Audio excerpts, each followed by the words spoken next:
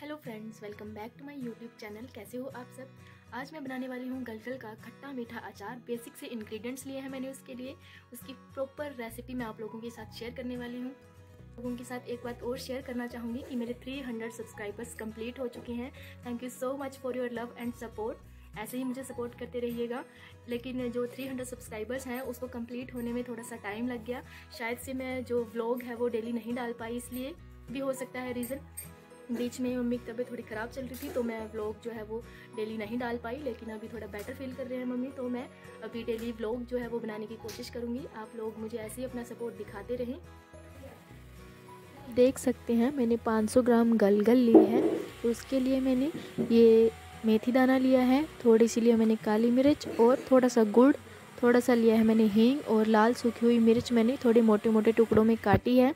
ये मैंने जो सूखे मसाले नॉर्मली हम यूज़ करते हैं, नमक, मिर्च और हल्दी, ये देखिए, यहाँ पे पानी जो है वो बॉईल होने लगा है तो मैं इसके अंदर भी गलगल डाल दूँगी, क्योंकि जो गलगल का छिलका होता है वो थोड़ा सा कड़वा होता है तो उसके जो कड़वापन है उसको दूर करने के लिए हम इसको लगभग एक या डेढ़ मिनट के लिए इसके अंदर ऐसे ही थोड़ा सा पकाएँगे, ताकि जो इसका कड़वापन है वो निकल जाए इजीली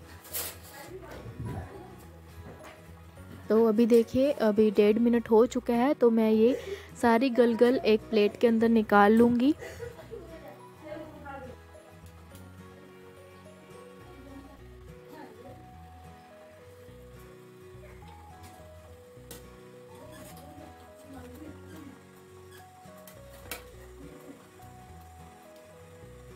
और यहाँ देखिए, अभी हम निकालने के बाद इसको गलगल को किसी कॉटन के कपड़े से अच्छे से साफ़ करेंगे ताकि इसके अंदर बिल्कुल भी पानी ना रहे। नहीं तो अचार ख़राब होने का डर रहता है। बिल्कुल साफ़ कर लिया है मैंने इसको। इसके अंदर बिल्कुल भी मॉइस्चर्स नहीं रहना चाहिए।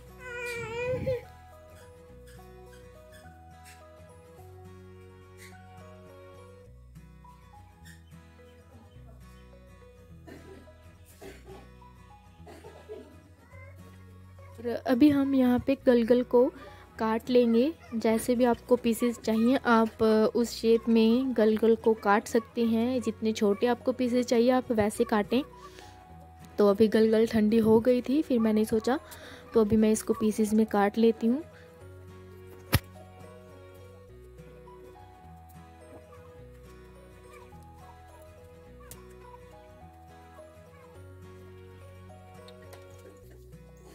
यहाँ आप देख सकते हैं, मैंने सारी गलगल काट ली है।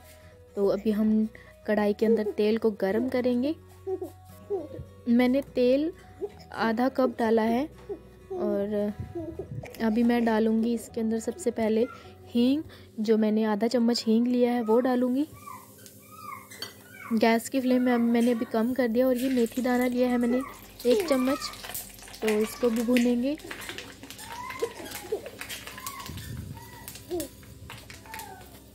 और साथ में डाल देंगे काली मिर्च। ये मैंने बाद में दरदरा पीस लिया था।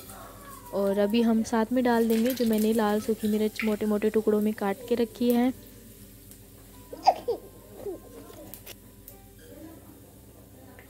और साथ में मैं डाल दूँगी इसके अंदर नमक। आप अपने टेस्ट के अकॉर्डिंग नमक को डाल सकते हैं। और यहाँ देखिए मैंने करीब इसके अंदर दो चम्मच नमक डाला है। थोड़ा सा मैं और ऐड करूँगी, यानी कि तीन चम्मच नमक मैं डाल रही हूँ इसके अंदर और अभी हम डालेंगे इसके अंदर लाल पीसी हुई मिर्च। ये मैंने एक चम्मच ही डाला है और एक या डेढ़ चम्मच के करीब हम डाल देंगे इसके अंदर हल्दी। आप नमक और मिर्च अपने टेस्ट के अकॉर्डिंग डालिएगा तो अभी हम इसको लो फ्लेम पे ही भूनेंगे। अगर हम गैस की आँच जो है वो ज़्यादा कर देंगे तो ये सारा मसाला जल जाएगा और अच्छा नहीं बनेगा अचार। और ये साथ में मैंने डाल दिया है गुड़। गुड़ मैंने एक कटोरी ली है, यानी कि छोटी जो कटोरी होती है। तो अभी हम इसको मिक्स करेंगे अच्छे से गुड़ को, ताकि ये मेल्ट हो जाए। आप चाहें तो गुड़ बाद में भी डाल सकते हैं। लेकिन मुझे ये पहले ही डालना अच्छा लगता है तो मैं इसको अच्छे से पका लूँगी। जब ये अच्छे से पक जाएगा तो मैं गैस बंद कर दूँगी और सारी गलगल कढ़ाई के अंदर डाल दूँगी और मैंने अभी गैस बंद कर दिया है। जो ये मसाला है, बस मैं इसके अंदर ही ऐसे गल गल को मिक्स कर दूँगी और ये इसके अंदर ही थोड़ा रोस्ट हो जाएगा गलगल भी। मैंने इसका पानी नहीं निकाला है, आप चाहें तो गलगल का पानी पहले निकाल सकते हैं।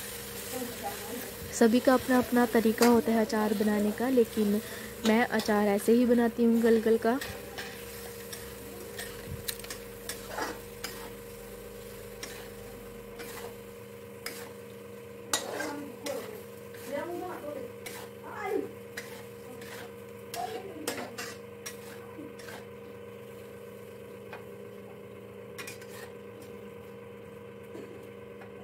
आप देख सकते हैं, अचार बन के तैयार है। अभी मैं इसको ठंडा होने दूँगी, फिर मैं इसको एक कांच के बर्तन या बर्नी में डाल लूँगी। और इसको तीन चार दिन के लिए रख दूँगी ऐसे ही, फिर ये अपने आप बन जाएगा। ऑलमोस्ट ये हाफ़ कुक तो है ही, लेकिन ये और अच्छे से मेल्ट हो जाएगा और चटपटा और खट्टा मीठा गलगल का अचार, ये देखिए, तैयार है हमारा। बस ये एक दो दिन में बन जाएगा अच्छे से। ये देखिए मैंने इसको एक कांच के जार में डाल लिया है।